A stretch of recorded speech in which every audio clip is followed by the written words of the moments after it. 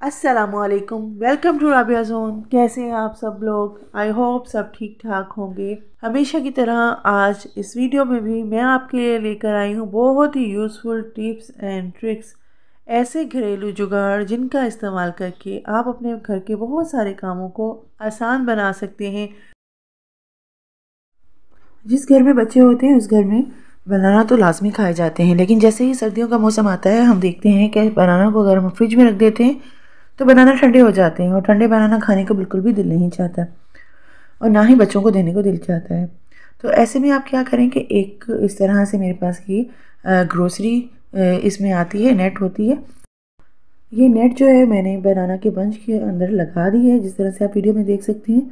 आपने बंच उठाना है और अंदर से जगह बनाते हुए इसके अंदर इस नेट को लगा देना है। अगर आपके पास इस तरह की नेट मौजूद नहीं है, आप कोई सी भी रस्सी वगैरह ले लें, कोई डोरी वगैरह ले लें और उसको इस तरह से बनाना के पंच के अंदर डालकर इसको ऊपर से बंद कर दें।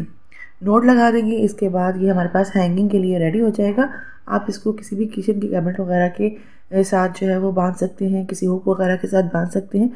बनाना के अंदर से कुदरती तौर पर एथिलीन गैस रिलीज़ होती है, जिसकी वजह से बनाना बहुत जल्दी पक जाते हैं और जल्दी ख़राब हो जाते हैं और हम इसको फेंक देते हैं। इस तरह से अगर आप फेंक करेंगे तो आपके बनाना जो है उसके अंदर से जो एथिलीन गैस रिलीज़ होगी वो बनाना के बंच को मुतासर नहीं करेगी जिसकी वजह से बनाना जो है आपके देर तक फ्रेश रहेंगे। और आ, सर्दियों में आप इसको आसानी के साथ इस्तेमाल कर सकते हैं जब आपका दिल चाहे आप निकालें बनाना को और आप खुद खाएँ अपने बच्चों को दें। आपने अक्सर नोटिस किया होगा कि वो शॉप्स वगैरह जहाँ से जूस वगैरह मिलता है शेक वगैरह मिलते हैं वो बनाना को इस तरह से डोरी में डालकर हैंग कर लेते हैं ताकि बनाना लंबे टाइम तक फ्रेश रह सके। आप भी इस टिप को ज़रूर ट्राई कीजिएगा। इन आप इसके रिज़ल्ट से बहुत फ़ायदा हासिल करेंगे। मेडिसिन को जब भी इस्तेमाल किया करें मेडिसिन की एक्सपायरी डेट जो है वो लाजमी चेक कर लिया करें। इसके अलावा इसके ऊपर प्रिस्क्रिप्शन वगैरह जो होती है, उसको अच्छी तरह से पढ़ कर उसके बाद इस्तेमाल किया करें। लेकिन समटाइम हम देखते हैं कि मेडिसिन के ऊपर लिखी हुई जो तहरीर है, वो इंतहाई हद तक छोटी होती है, जिसकी वजह से हम आम आँख से इसको पढ़ ही नहीं सकते। तो ऐसे में आप क्या करें आप अपने मोबाइल फ़ोन का कैमरा ऑन करें और कैमरा ऑन करने के बाद जो है अपनी जो आपकी मेडिसिन है, जिसके ऊपर से आप तहरीर पढ़ना चाहते हैं, इस तहरीर को आपने जो है वो एक स्नैपशॉट ले लेना है। मतलब एक पिक्चर जो है वो कैमरे से ले लेनी है। और फिर इस पिक्चर को जो है, जब आप, फिर इस पिक्चर को आपने हाथ की मदद से इस तरह से जूम करना है। जब आप इसको जूम करेंगे तो आप देखेंगे कि जो अल्फाज हैं वो बड़े होते हुए आपको दिखाई देंगे। इस तरह से आप अपनी ज़रूरत के हिसाब से जो है साइज़ को बड़ा या छोटा करके इस प्रिस्क्रिप्शन को पढ़ सकते हैं। और इस तरह मेडिसिन के इस्तेमाल से पहले आप मेडिसिन के बारे में मुकम्मल जानकारी हासिल कर सकते हैं। वो भी बगैर परेशानी के। ये देखिए कितना क्लियर जो है वो आप पढ़ सकते हैं इसको।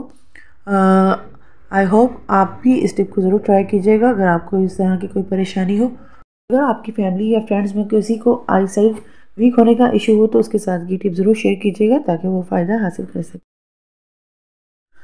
अंडे सर्दियों में हम बहुत ज़्यादा बॉयल करके खाते हैं, लेकिन जैसे हम इसके दो हिस्से कर देते हैं तो इससे अंडे के ऊपर हम देखते हैं कि थोड़ी देर के बाद जो है अंडा ऊपर से ब्लैक सा हो जाता है और थोड़ी सी लेस आना लग जाती है।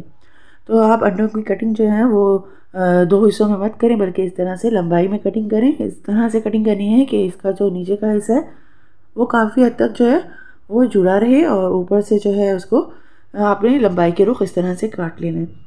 है इस तरह से काटने के बाद आप जो मसाला वगैरह खाना चाहते हैं, अंडे के साथ नमक, मिर्च वगैरह लगाकर तो वो मसाला जो है वो आप इन कट्स में जो है वो लगा कर जो है सर्व कर सकते हैं।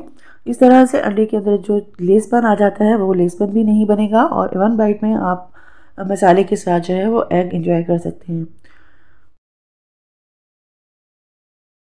ज़्यादा कामकाज करने की वजह से हम देखते हैं कि हमारे हाथों पैरों की स्किन जो है वो रफ और खुरदरी हो जाती है। इसके ऊपर टेंस हो जाते हैं और एक एक्स्ट्रा लेयर इसके ऊपर स्किन के ऊपर आ जाती है, जो कि काफ़ी ज़्यादा बदनुमा लगती है, हमारे असर रंगत को छुपा देती है और ग्लो को कम कर देती है। ऐसे में आप आधा टमाटर लें और टमाटर को आपने चीनी के अंदर जो है वो लगाना है और इस तरह से सर्कल और मोशन में फेस के ऊपर, गर्दन के ऊपर, हाथों और पैरों के ऊपर आपने दो से तीन मिनट तक मसाज करना है, उसके बाद आपने इसको ड्राई होने के लिए छोड़ देना है। पाँच से सात मिनट लगेंगे, इसके बाद आप नॉर्मल पानी से अपने हाथों को और पैरों को या फेस वगैरह को वॉश कर लीजिए। इस रूटीन को आपने हफ़्ते में तीन बार फॉलो करना है। आप देखेंगे कि आपकी स्किन जो है वो बिल्कुल नरिश होना शुरू हो जाएगी और आपको ज़्यादा टाइम भी नहीं लगेगा इस टिप को फॉलो करने में। लेकिन इसके रिज़ल्ट बहुत ज़्यादा अमेजिंग है। आपकी स्किन जो है वो बहुत ज़्यादा ग्लो करने लग जाएगी, एकदम आपको स्किन पॉलिश जैसा रिज़ल्ट मिलेगा। आपको सैलून जाके हज़ारों रुपए खर्च करने की ज़रूरत नहीं है और फेशियल वगैरह करवाने की ज़रूरत नहीं है। आप घर में ये डी आई वाई रेमेडी इस्तेमाल कीजिए, इसकी रिज़ल्ट आपको हैरान कर देंगे। सर्दियों में गैस की लोड शेडिंग बहुत ज़्यादा होती है, जिसकी वजह से जो है हमारा खाना बहुत जल्दी ठंडा हो जाता है। ऐसे में कुछ ऐसे लोग होते हैं, हम ही में से, जो कि गर्म खाना खाना पसंद करते हैं, उनको ठंडा खाना बिल्कुल भी अच्छा नहीं लगता। ऐसे में अगर आपको भी ठंडा खाना खाना अच्छा नहीं लगता तो आप क्या करें, जो ब्रेड वगैरह आप खाते हैं अगर वो ठंडी हो गई है तो उसको एलुमिनियम फॉइल के अंदर रैप कर लें और उसके बाद जो है प्रेस को गर्म करके इसके ऊपर जो है आप फेरें। ऐसा करने से जो है आपकी जो ब्रेड है वो गर्म हो जाएगी और आप इसको अच्छे तरीके से खा सकेंगे और आपका खाना खाना भी अच्छा लगेगा। यहाँ से रोटी जब हम बना कर रखते हैं तो रोटी भी कुछ टाइम के बाद इस तरह से ठंडी हो जाती है, जिसको खाना हमें अच्छा नहीं लगता तो इसी तरह से आप एलुमिनियम फॉइल रखें और उसके ऊपर आप रोटी रखें और दूसरा एलुमिनियम का पीस इसके ऊपर रख कर और फिर प्रेस को गर्म करके आप इसके ऊपर फेरें। इस तरह आप तकरीबन थोड़ा सा फेरेंगे तो आप देखेंगे कि आपकी रोटी जो है वो बिना मेहनत के, बिना गैस के जो है वो गर्म हो जाएगी। इस तरह से आप रोटियों को एक बार फिर से ताज़ा कर सकते हैं गर्म करके। गैस की लोड शेडिंग के दौरान अगर आपको गर्म रोटियाँ खानी हो तो आप भी इस टिप को ज़रूर ट्राई कीजिएगा। इन आपको बेहतरीन रिज़ल्ट मिलेंगे। आई होप आपके लिए आज की टिप्स एंड ट्रिक्स काफ़ी ज़्यादा यूज़फुल रही होंगी। मज़ीद अच्छी अच्छी टिप्स एंड ट्रिक्स के लिए मेरे चैनल को सब्सक्राइब कर लीजिए। और साथ में लगे बेल आइकन को प्रेस करना मत भूलिए। मिलते हैं नेक्स्ट वीडियो में कुछ न्यू टिप्स एंड ट्रिक्स के साथ। जब तक के लिए अपना बहुत सा ख्याल रखिएगा। अल्लाह हाफिज़।